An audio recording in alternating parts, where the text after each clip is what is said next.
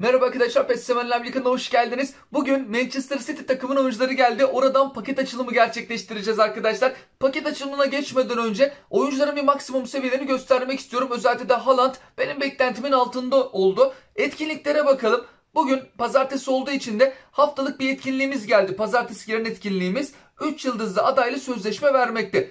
Geçen hafta gelen 4 yıldızlı adaylı sözleşme veriyordu. Şimdi birkaç hafta boyunca 3 yıldızı vermeye devam edecek.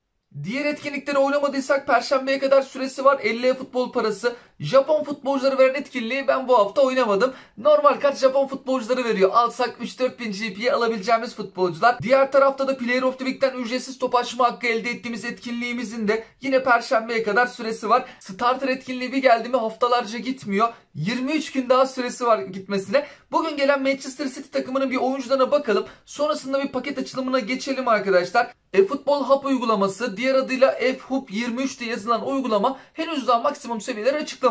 Açıklayan uygulamaya baktığımızda PES Data uygulaması maksimum seviyeleri açıkladı. Ne yazık ki seviyeler bence yüksek olmamış. Normal kartına çok yakın. Tek tek bakalım. Kevin De Bruyne maksimum seviyeye çıkardığımızda 96 seviyeye çıkmakta. Özellikleri de bu şekilde pasları çok iyi, şutları iyi olan bir futbolcu.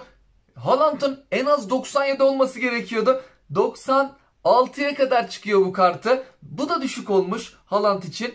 Ederson'a geçtiğimiz zaman 95'i görüyor kalecimiz.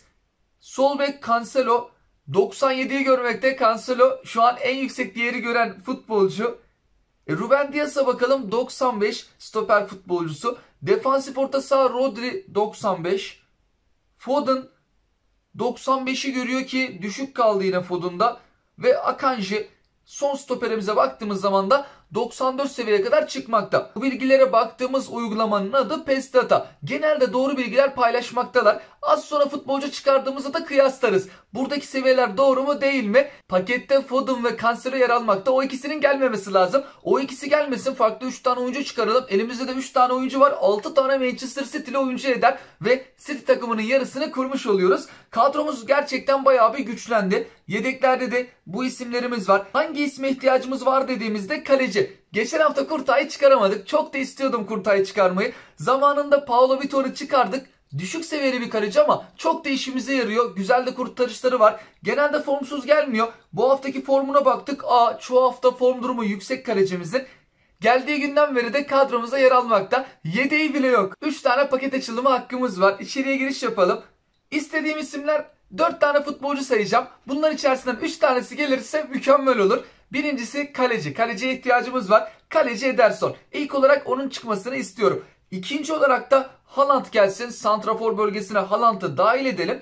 Üçüncü isim Kevin De Bruyne. Önemli bir isim kendisi. Göbekte genelde kullanıyorum ben. Ofansif orta sahada da kullanabiliriz. Dördüncü isim ise stoper Ruben Diaz. Bu dört futbolcudan üçü gelirse mükemmel olur. Tabi burada elimizde olan isimler Bende Foden var. Foden'ın gelmesini istemem. Buradaki kartında GF kartına sahip olduğunu görüyoruz. Sağda birçok farklı yerde oynayabilmekte. Yaratıcı oyun kurucu oyun tarzına sahip. Bende sol bek Cancelo var. Olmasa isteyeceğim oyunculardan bir tanesiydi. Oyunun en iyi bek futbolcularından birisi. Sol bekte, sağ bekte, sağ kanatta oynayabilmekte. Etkili de bir oyuncu. Çalımları da var, hızı da var. İstediğimiz futbolcuları saydık. Bunlardan 3 tanesini çıkarabilir miyiz?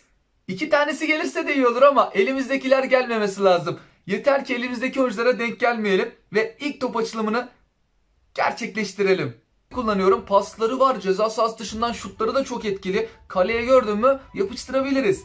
İkinci top açılımı yanındaki Haaland'la bir an göz istenebilecek paket içerisindeki en iyi iki tane futbolcuyu çıkardık. Santrafor'da da ihtiyacımız vardı kendisine. Benzema ile başlarız. Haaland'ı sonra alabiliriz. Haaland süper yedek oyun tarzına da sahip biri ki bu hafta da form durumu iyi. Direkt ilk 11'e yerleştiririz kendisini. Bir de Paris Saint Germain geldiğinde Mbappe'yi çıkarırsak çok iyi olacak. Ve son top açılımı. Buradan 3 tane futbolcu. Elimizde de 3 tane Manchester City'den oyuncu vardı. 3 tane de şimdi geldi. 6 tane City'li futbolcu. City takımının yarısını kurduk. Haaland'ı özellikle bir fullleyelim arkadaşlar. Bir bakalım maksimum seviyesi kaça kadar çıkacak. Az önce baktığımız uygulama doğru verileri paylaşıyor mu? Son transferlerimizi kadromuza alalım. Yedeklerden bazı isimlerle şimdilik değiştirelim. Stili Grealish kalsın. E burada Rafael Lao'da elim gitmiyor. Gümeles'i çıkaralım şimdilik. Ofansif orta saha bölgesinde baktığımız zaman Depalu da çok severim ama şimdilik onu çıkaralım. Ve stoperimizi de alalım. Kendisini belki oynatmayabiliriz. Şimdilik yedeklerimizde bulunsun. İlk 11'e Haaland'ı çeksek Benzema'nın yerine. Sonrasında Kevin De Bruyne'yi de alalım. Musiala ile yer değiştirelim. Ve stoperimiz var. Şu an için kadroyu yerleştirdik. Hatta Grealish'i de alsak tüm Manchester City'li futbolcular şu an ilk 11'imizde. Az kaldı Manchester City kadrosunu oluşturacağız. Burada Haaland'ı bir fullleyelim. Seviye antrenmanı diyelim. Oyun tarzına bakmadık. İnşallah hızlı kontrata iyidir. 5 tane 10 binlik verdik. Bir tane 4 binlik. İlerle diyelim. 36 ilerleme puanımız var. Az önceki uygulamada 36 ilerleme puanı demişti. Oyuncu istatistikleri desek hiç böyle oyun tarzı basmadığımızda 95 seviyeye kadar çıkıyor ama bunu biraz düzeltirsek yine 96'yı bulabilir. Şimdi bazı yerlerden kırpalım. Mesela şu an 96'yı gördü. Fakat biz oyun tarzı basmamız gerekiyor. Geri diyelim kaydetmesin. Öncelikle takım oyu tarzına bakalım. 90. Hepsi 90. Aa Club Selection'dan gelen oyuncuların hepsi 90 olmuş. Normalde bunlar 90 değildi arkadaşlar. Bu çok güzel olmuş. Buraya ilerleme puanı harcamıyoruz. Player of the Week gibi olmuş. Ben hiç bunu sevmiyordum zaten. Bu sistemi komple kaldırsınlar diyordum kendi kendime. Oyunculara takım oyu tarzı basıyoruz. Bazen istemediğimizde basıyoruz. Sonradan değişiklik, değişiklik yapıyoruz. Ben hızlı kontratakla oynuyorum ama hızlı top çevirmeyle de yeri geliyor oynamak istiyorum. Uzun topla da oynamak istiyorum. Oyuncuları yetiştiremiyorduk. Bu güzel olmuş. Club Selection'dan gelenler de aynı Player of the Week'ler gibi 90 ilerleme puanına sahip, 90 oyun tarzına sahip. Diğerlerine de bakalım. Onlar da aynı şekilde olması lazım. Kevin De Bruyne, oyuncu ayrıntıları diyelim. Evet 90. Bu çok güzel. Club Selection'dan buralardan gelen oyuncular da artık oyun tarzları 90. Normal kartlara da böyle bir şey var mı? Bir de onlara bakalım. Bir markete uğrayalım. Oradan GP'le satılan futbolculara bakalım. Konami'den bir açıklama gelmemişti. Hemen şuradan standart oyuncu diyelim. Büyük ihtimalle burada yoktur böyle bir şey. Ama yine de bakalım. Ee, bu tarafta yok. Keşke buradaki hepsi öyle olsaydı. Bizi bunlarla uğraştırmasalardı.